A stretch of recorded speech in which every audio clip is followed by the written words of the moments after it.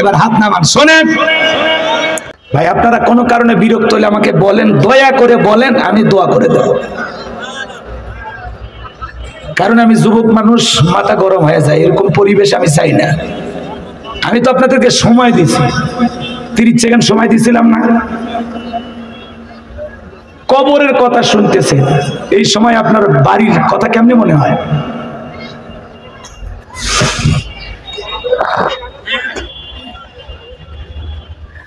আচ্ছা আপনারা একটু যান। কে কে যাবেন একটু যান। দয়া করে একটু যান। পাঁচজন মানুষকে আর শোনাবো, সমস্যা নেই। আপনারা যান তো, দয়া করে যান।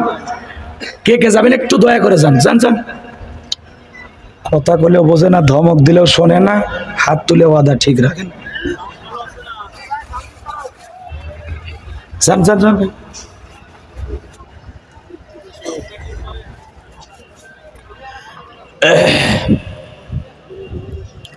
কে কে যাবেন? যান যান যান।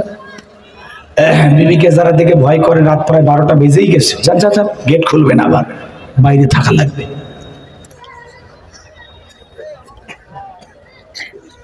হজরত ওসমান কবর থেকে অজরে চোখের পানি ছেড়ে দিয়ে কান্না করেন। ওই কবর কিন্তু জায়গা ভালো না, সবাইকে কবরে যেতে হবে, কথা বলেন ঠিক কিনা? ছয় দিন পরে নখ কষে যাবে, নয় দিন পরে চুল। কবর গাইগের সামান নিতে কইর না কেউ ভুল। ছয় দিন পরে নখ কষে যাবে, নয় দিন পরে চুল। কবর গাইগের সামান নিতে কইর না কেউ ভুল। কবর জায়গা ভালো নয়, কবর জায়গা ভালো নয়। আমল দিয়ে কবর গৃহ সাজিয়ে নিতে হয় কবর। জায়গা ভালো নয় কবর, জায়গা ভালো নয়। আমল দিয়ে কবর গৃহ সাজিয়ে নিতে হয়। জোরে বলেন মার হাবা সতেরো দিনে পেট পেটে শেষ, পোকার খাদ্য হবে। সাত দিন পরে গোস্তা গাবে না, কঙ্কাল পরে রবে। সতেরো দিনে পেট পেটে শেষ, পোকার খাদ্য হবে। ষাট দিন পরে গোস্ত গাবে না, কঙ্কাল পরে রবে। নব্বই দিনে হারে গুলি সব, নব্বই দিনে হারে গুলি সব। আলাদা হয়ে রয় কবর জায়গা ভালো নয় কবর জায়গা ভালো নয়। আমল দিয়ে কবর গৃহ, সাজিয়ে নিতে হয় কবর। জায়গা ভালো নয় কবর জায়গা ভালো নয়। আমল দিয়ে কবর গৃহ সাজিয়ে নিতে হয়। জোরে বলেন মার তাহলে কবরে কয়টি প্রশ্ন করবে? জোরে বলেন বাজার কয়টি? তিনটি প্রশ্ন করবে। এক নাম্বার প্রশ্ন হলো, মার রব্বুকা তোমার রবকে এই দুনিয়ার জমিনে রবের গোলামি করেছে যারা, এক আল্লাহর ইবাদত করেছে যারা, আল্লাহর গোলামিতে সারা জীবন কাটিয়েছে যারা। আমার ভাইয়েরা, ভালো করে বোঝার চেষ্টা করবেন, এই দুনিয়ার জমিনে যারা রবের গোলামি করেছে, কোরআন, হাদিস মোতাবেক নিজের জীবনটাকে, পরিবারটাকে পরিচালনা করেছে, নেক আমল করে, আল্লাহর খাঁটি মমিন, মুত্তাকি বান্দা হয়ে কবরে যাবে যারা, নেক আমল করে কবরে যাবে যারা, কবরের সলজবের সঠিক উত্তর দিতে পারবে তারা বলেন আল্লাহু আকবার। ওই নেককার মমিন মোত্তাকি বান্দাকে যখন জিজ্ঞাসা করা হবে, মার রব্বকা? আল্লাহর মমিন মোত্তাকি আল্লাহর পছন্দের গোলাম জবাব দিয়ে বলবে, রব্বি আল্লাহ রব্বি আল্লাহ, আমার রব, আমার আল্লাহ। আমাদের রব কে? আল্লাহ যেন আমাদের কবরের সল জবের তিনটি প্রশ্নের সঠিক উত্তর সঠিকভাবে দেওয়ার তৌফিক দান করেন। একটু জোরে বলেন না, আমিন। আমার ভাইয়েরা, নেক করে কবরে যাবে, যারা উত্তর দিতে পারবে তারা। এরপরে যারা দুনিয়ার জমিনে গুনাহ করবে, আল্লাহর অবাধ্য গোলাম হবে। শয়তানের ওয়াসওয়াসায় পড়ে যারা ভুল পথে পরিচালিত হয়েছে।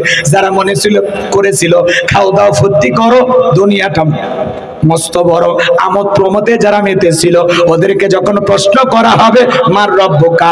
ওই গুণা নিয়ে আল্লাহর অবাধ্য গোলাম হয়ে কবরে যাবে যারা, তাদেরকে যখন প্রশ্ন করা হবে, মার রব্বকা? কবরে সলজবের সঠিক উত্তর দিতে পারবে না তারা। তারা ফেল ফেল করে তাকিয়ে থাকবে আর বলবে, হাই হাতালা আদেরি। আফসোস করবে তারা। তারা প্রশ্নের উত্তর দিতে পারবে।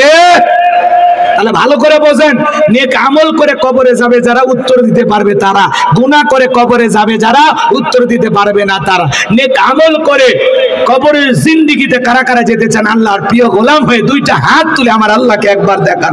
আল্লাহ, আমাদের সবাইকে নেক আমল করে কবরে যাওয়ার তৌফিক দান করুন। জোরে বলুন আমি আল্লাহ যেন আমাদের আমলের পাল্লা ভারী করে দেন, জোরে বলেন আমি আল্লাহর পছন্দের গোলাম হওয়ার তৌফিক দান করুন, জোরে বলুন আমি কোরআন, সুন্নাহ মোতাবেক চলার তৌফিক দান করুন। সিরাতাল মুস্তাকিমের রাস্তায় আল্লাহ আমাদের কবুল করুন, জোরে বলুন আমি এবার হাত নামান, শোনেন।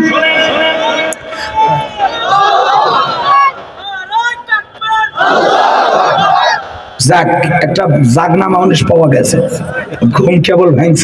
আল্লাহ কবুল করেন। বলেন আমি তাহলে খেয়াল করেন, কবরের এক প্রশ্ন তোমার রবকে জীবনের পরেতে পরেতে সব জায়গা রব। শোনে যে চাকরি করে তার ভাতি, তার ভাগ্যে তো বেতন বোনাস জোটে। নাকি ক? এই দুনিয়ার জমিনে আমরা রবের গোলামি করব। এই গোলামির বিনিময়ে আল্লাহ আমাদেরকে দিবেন জান্নাত। সোবানাল্লাহ বলবেন না?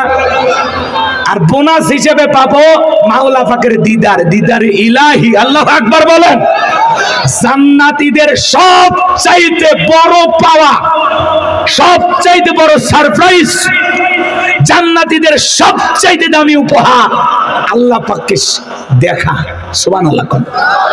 একেবারে পূর্ণিমার চাঁদ দেখতে মানুষের যেমন কষ্ট হয় না, জান্নাতীরা তেমনি ভাবে আমাদের সৃষ্টিকর্তা, আমাদের রব, আমাদের প্রতিপালক আল্লাহকে দেখতে পাবে। জান্নাতে যে এদিকে জান্নাতে গেলে তো আল্লাহকে দেখবেন। তাহলে জান্নাতে যাওয়ার জন্য নেক আমল করবেন তো ইনশাআল্লাহ। আমল দিয়ে জীবন সাজাবেন, আমল দিয়ে কবর সাজাবেন, আমল দিয়ে আখেরাত সাজাবেন। যার আমল ভালো, তার আখেরাত ভালো। যার আমল খারাপ, পুরো আখেরাত বরবাদ। কথা কন। কথা বুঝাইতে পারলাম? তাহলে আল্লাহ কি বলেন? ইন্নাল্লাযিনা ক্বালু রাব্বুনা আল্লাহ নিশ্চয়ই যারা বলে, আমি তাদের রব। আল্লাহ আমার রব, এই রবই আমার সব। বান্দার চাওয়ার আগে সব চাওয়া পূরণ করে দেওয়ার ক্ষমতা কার? এইবার এই মনোযোগ জানেন নিশ্চয়ই যারা বলে আমি তাদের রব, চিৎকার মেরে শেষবারের মতো বলেন, আমাদের রব কে?